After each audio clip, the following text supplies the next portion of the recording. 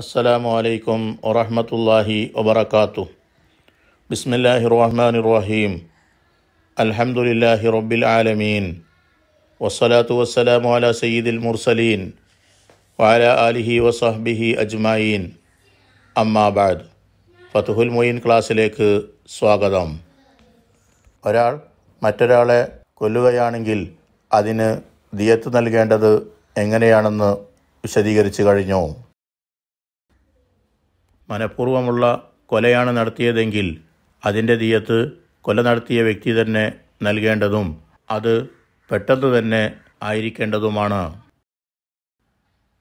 മറ്റൊരാളുടെ സ്വത്തോ അവയവങ്ങളോ എല്ലാം മനഃപൂർവം നശിപ്പിക്കുമ്പോൾ അതിനു പകരം നൽകേണ്ടത് നശിപ്പിച്ച വ്യക്തി തന്നെയാണ്.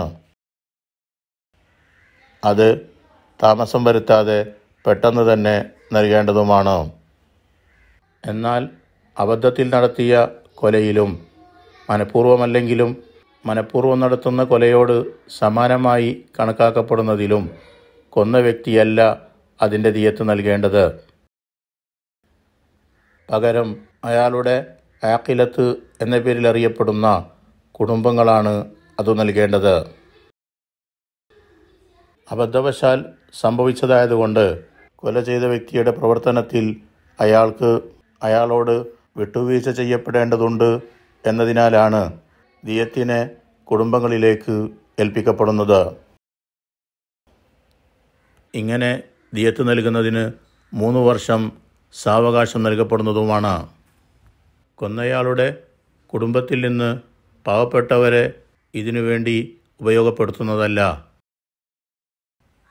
കുടുംബത്തിൽ നിന്ന് സമ്പന്നരായ ആളുകൾ ഓരോ വർഷത്തിലും അര ദീനാർ ദിയത്ത് നൽകുന്നതിനു വേണ്ടി നീക്കിവെക്കേണ്ടതാണ്. പാവപ്പെട്ടവരിലും സമ്പന്നരിലും ഉൾപ്പെടുത്താൻ കഴിയാത്ത മധ്യനിലവാരത്തിലുള്ളവരാണെങ്കിൽ അതിന്റെ പകുതി ഓരോ വർഷവും ദിയത്തിനു വേണ്ടി മാറ്റിവെക്കണം. മൂന്ന് വർഷം തുടർച്ചയായി കുടുംബത്തിൽ നിന്ന് ഇങ്ങനെ മാറ്റിവെക്കപ്പെടുന്ന സംഖ്യ ദിയത്തിനു വേണ്ടി തികയാതെ വന്നാൽ ബൈത്തുൽ മാലിൽ നിന്ന് ബാക്കി ഭാഗം പൂർത്തിയാക്കേണ്ടതാണ്. ബൈത്തുൽമാൽ അഥവാ മുസ്ലിങ്ങളുടെ പൊതുഫണ്ട് ഇല്ലാതെ വന്നാൽ കൊല ചെയ്ത വ്യക്തി തന്നെയാണ് ഇതെല്ലാം നൽകേണ്ടത്.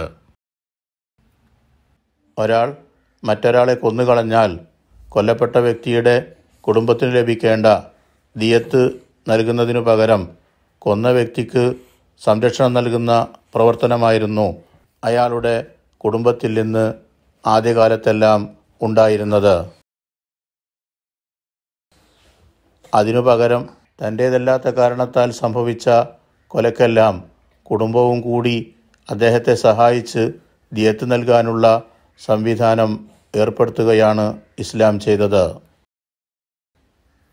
മൂന്ന് വർഷം കൂടുമ്പോഴേക്ക് ദിയത്ത് പൂർത്തിയായി നൽകാൻ മാത്രമാണ് അവരോട് കൽപ്പിക്കപ്പെട്ടത്.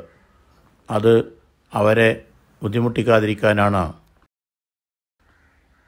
ഒരാൾ മരിച്ചു കഴിഞ്ഞാൽ അയാളുടെ അനന്തരസ്വത്ത് നൽകപ്പെടുന്ന രക്തബന്ധത്തിലെ അടുത്ത കുടുംബങ്ങളാണ് ദിയത്ത് നൽകേണ്ട ആക്കിലത്തായി പരിഗണിക്കപ്പെടുന്നത്. പുരുഷന്മാരെ മാത്രമേ അതിൽ ഉൾപ്പെടുത്തുന്നുള്ളൂ. സ്ത്രീകൾ ഇങ്ങനെ ദിയത്ത് നൽകേണ്ടവരിൽ ഉൾപ്പെടുന്നില്ല.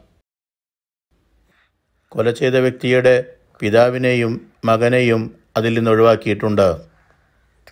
ചുരുക്കത്തിൽ കൊല ചെയ്ത വ്യക്തിയുടെ സഹോദരന്മാർ അവരുടെ മക്കൾ പിതാവിന്റെ സഹോദരന്മാർ അവരുടെ മക്കൾ പിതാമഹന്മാരുടെ സഹോദരന്മാർ അവരുടെ മക്കൾ എന്നിങ്ങനെയാണ് ദിയത്ത് നൽകേണ്ട കുടുംബത്തെ കണക്കാക്കപ്പെടുന്നത്.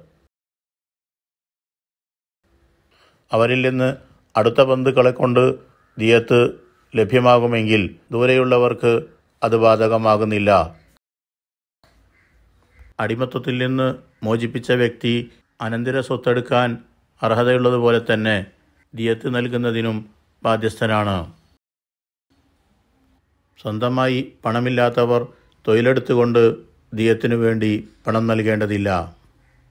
ഭിന്നലിംഗക്കാരും പ്രായപൂർത്തിയും ബുദ്ധിയും എത്താത്തവരും ദിയത്തിനു വേണ്ടി പണം നൽകൽ നിർബന്ധമില്ല. ഏതെങ്കിലും കാരണത്താൽ ഒട്ടകങ്ങൾ ലഭ്യമല്ലാതെ വന്നാൽ അതിന്റെ വിലയാണ് ദിയത്തായി നൽകേണ്ടത്. ഒട്ടകങ്ങൾ ലഭ്യമാണെങ്കിലും സാധാരണയിൽ കവിഞ്ഞ വില ചോദിക്കുന്നതുകൊണ്ടും ഒട്ടകങ്ങൾ ഉള്ള സ്ഥലത്തു നിന്ന് അതിനെ എത്തിച്ചു കൊടുക്കുന്നതിന് കൂടുതൽ ചെലവ് വരുന്ന സ്ഥലങ്ങളിലും ഒട്ടകങ്ങളുടെ വിലയാണ് ദിയത്തായി നൽകേണ്ടത്. ദിയത്തിനെ ഏൽപ്പിച്ചു കൊടുക്കുന്ന സമയത്തുള്ള വിലയാണ് അതിനുവേണ്ടി പരിഗണിക്കപ്പെടുക. വസല്ലല്ലാഹു വസല്ലം അല സയ്യിദിന മുഹമ്മദിൻ വഅല ആലിഹി വസഹ്ബിഹി അജ്മഈൻ. വൽഹംദുലില്ലാഹി റബ്ബിൽ ആലമീൻ.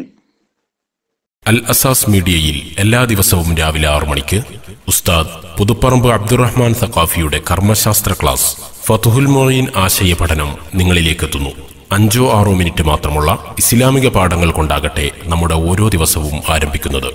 അത് ജീവിതത്തിൽ തീർച്ചയായും വലിയ മാറ്റങ്ങൾക്ക് കാരണമാകും.